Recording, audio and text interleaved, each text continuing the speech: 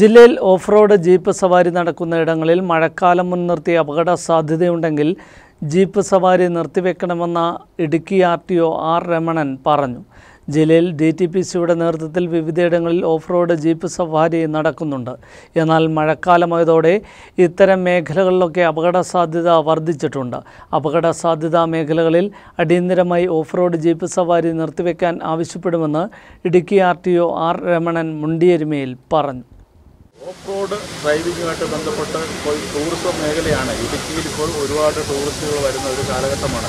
ഈ ടൂറിസം മേഖല വികസിക്കുന്നതിനാവശ്യമായിട്ട് off road driving അതിന്റെ ഒരു അനിവാര്യമായിട്ടുള്ള ചില സ്ഥലങ്ങൾ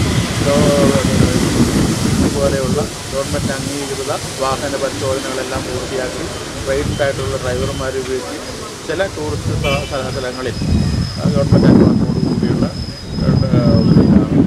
ഓഫ് റോഡ് ട്രക്കിംഗ് അത് ഉണ്ട്. അത് പക്ഷേ അവിടെയൊക്കെ അപകട സാധ്യതകൾ മുന്നിൽ കണ്ടുകൊണ്ട് ഈ മഴക്കാല സീസണുകളിൽ അത് നിർത്തിവെക്കണമെന്നാണ് എനിക്ക് ഈ അവസരത്തിൽ പറയാനുള്ളത്. അല്ലെങ്കിൽ വളരെ ശ്രദ്ധയോടുകൂടി ടൂറിസ്റ്റുകളായി എത്തുന്ന ആൾക്കാർക്ക് യാതൊരുവിധ പരിക്കുണ്ടാകാത്ത ട്രെയിൻഡായിട്ടുള്ള ആൾക്കാർ വളരെ ശ്രദ്ധയോടുകൂടി നടത്തണം. ഇതിനെ കർശനമായിട്ട് മോണിറ്റർ ചെയ്യാനായിട്ട് മോട്ടോർ വെഹിക്കിൾ ഇൻസ്പെക്ടർമാർ സദാ രംഗത്തുണ്ട്.